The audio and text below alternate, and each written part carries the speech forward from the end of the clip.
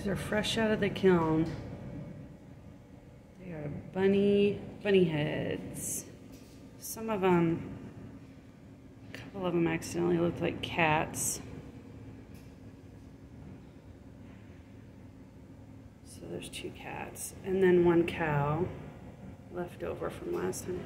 There's the ones that bunnies turned into cats.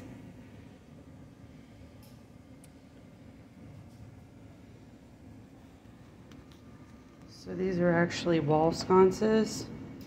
So you can hang them on the wall and put stuff in them. Like dried flowers.